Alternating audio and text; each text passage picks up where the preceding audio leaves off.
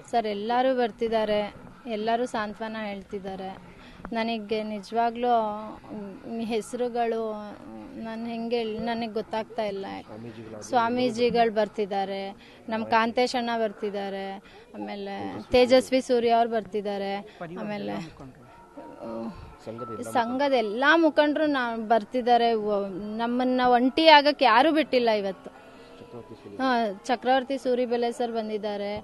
ಆಮೇಲೆ ಅವರು ಸ್ವಾಮೀಜಿಗಳು, ನಾನು ಹೇಳ್ತಿದ್ದೀನಲ್ಲ, ಇವತ್ತು ಹರ್ಷನ್ ಕಳ್ಕೊಂಡಿದ್ದೀನಿ ಅನ್ನೋಕ್ಕಿಂತ ನನಗೆ ಎಷ್ಟೋ ತಮ್ಮಂದರು, ಅಣ್ಣಂದರು ಎಲ್ಲ ಬಂದು ಬಂದು ಬಂದು ನನಗೆ ಒಂದು ನಿಮಿಷನೂ ಅನಾಥರು ಅನ್ನೋದನ್ನ ಇದನ್ನೇ ಮಾಡ್ತಿಲ್ಲ ನಮಗೆ.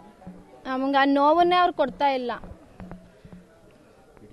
ಇಡೀ ದೇಶನೇ ನನ್ನ ಜೊತೆಗಿದೆ. ನನ್ಗೇನು ಮಾತಾಡಬೇಕು ಅಂತ ಗೊತ್ತಾಗ್ತಿಲ್ಲ. ಎಲ್ಲರೂ ಶಾಂತಿ ಕಾಪಾಡ್ರಪ್ಪ. ಇದೊಂದು ನನ್ನ ನಾನು ರಿಕ್ವೆಸ್ಟ್ ಮಾಡ್ಕೋತಿದ್ದೀನಿ ನಾನು.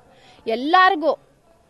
ನಾನು ಯಾವುದು ಇದನ್ನ ಹೇಳ್ತಿಲ್ಲ. ಪ್ರತಿಯೊಬ್ಬರಿಗೂ ಮನೆ ಮನೆಗೆ. ದೇಶದಲ್ಲಿ ಎಷ್ಟು ಕೋಟಿ ಜನ ಇದ್ದೀರಾ ಅಷ್ಟು ಕೋಟಿ ಜನನೂ ನೀವು ಶಾಂತಿ ಕಾಪಾಡ್ಕೊಳ್ಳಿ.